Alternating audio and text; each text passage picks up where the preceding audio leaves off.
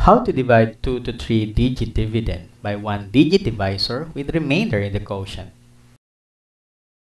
Do you still remember the acronym DMSCD? What do we mean by DMSCD?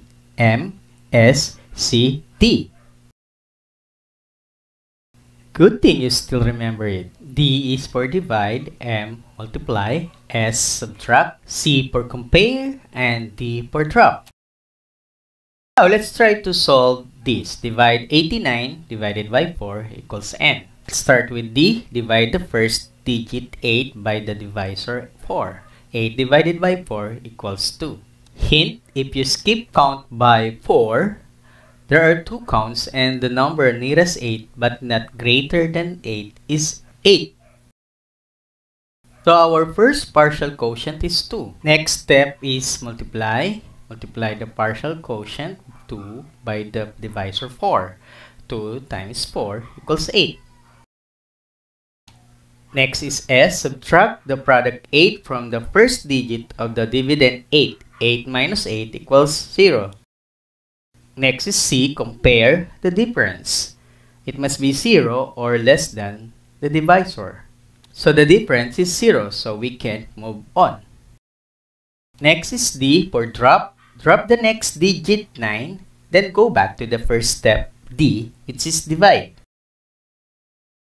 Divide the second digit 9 by 4. 9 divided by 4 equals 2. Hint, if you skip count by 4, there are two counts and the number nearest 9 but not greater than 9 is 8.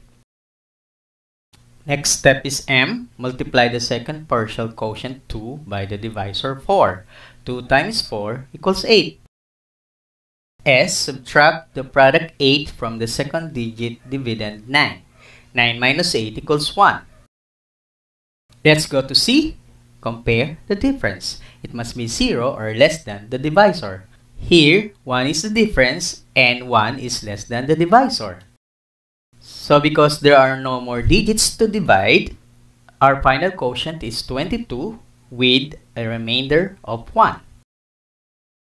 To check if the answer is correct, multiply the quotient 22 by the divisor 4 and add the remainder 1 to the product. If the sum of the product and the remainder is the same as the dividend, then your answer is correct. Let's go to our second example. Divide 227 by 3. First, divide the first two digits 22 by the divisor 3. If you notice, you have to take two digits here because you cannot divide the first digit 2 by 3 because 2 is less than 3. So you have to take 22. So 22 divided by 3 equals 7. Hint, if you skip count by 3, there are 7 counts and the number nearest 22 but not greater than 22 is 21. So first partial quotient is 7 multiply the partial quotient 7 by the divisor 3. 7 times 3 equals 21. Next, subtract the product 21 from the first two digits 22 of the dividend. 22 minus 21 equals 1. Next step is C. Compare the difference. It must be 0 or less than the divisor. Here, the difference is 1 and 1 is less than the divisor. So we can move on to the next step.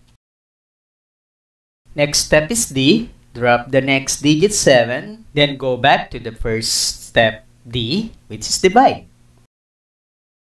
Divide the combined digits 17 by 3. 17 divided by 3 equals 5. Hint, if you skip count by 3, there are 5 counts and the number nearest 17 but not greater than 17 is 15. Next, multiply the second partial quotient 5 by the divisor 3. 5 times 3 equals 15. Next step is S. Subtract the product 15 from 17. 17 minus 15 equals 2. And then compare the difference. It must be 0 or less than the divisor. Here, 2 is the difference and 2 is less than the divisor 3. So, no more digits to divide. So, final quotient with the remainder 75, remainder 2. To check if the answer is correct, multiply the quotient 75 by the divisor 3 and add the remainder 2 to the product. If the sum of the product and the remainder is the same as the dividend, then your answer is correct. Here, the sum 227 tallies with the dividend 227. So, the answer is correct. Now, it's your turn. Try to divide 126 by 5. Use the acronym DMSCD. Check your answer using multiplication and addition. After solving, go to the next slide to check if your answer is correct.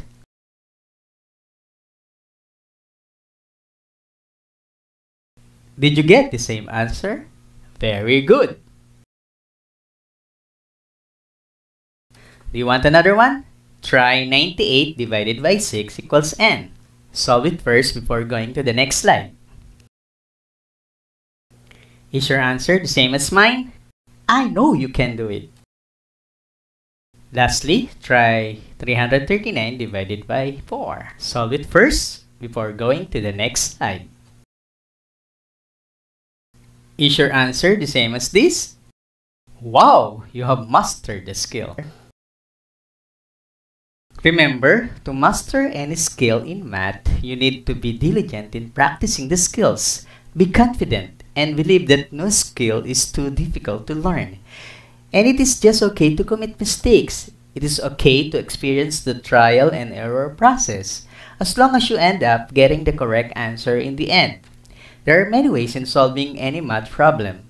Feel free to use any method you like, as long as you end up with the correct answer.